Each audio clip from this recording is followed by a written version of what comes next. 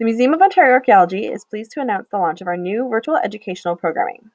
Each program complements the Ontario curriculum, primarily the science and technologies and social studies curriculums, and each program consists of three components pre activities designed to introduce key concepts and information, a live virtual session delivered through Google Meets, and post activities designed to be summative and conclusionary.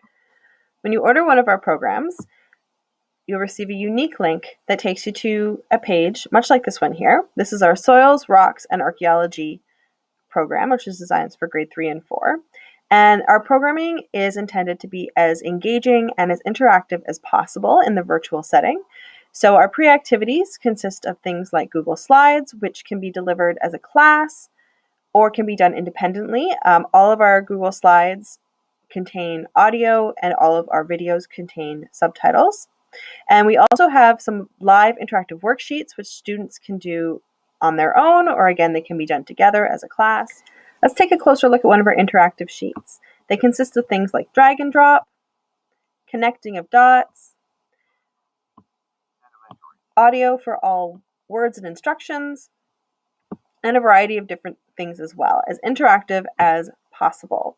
When students are finished, they're able to click check my answers to see how they've done, and they can go back and redo it if they want as many times as they would like. Under the live virtual visit section of the website page, you will have a basic outline of what will be done within the live virtual hour.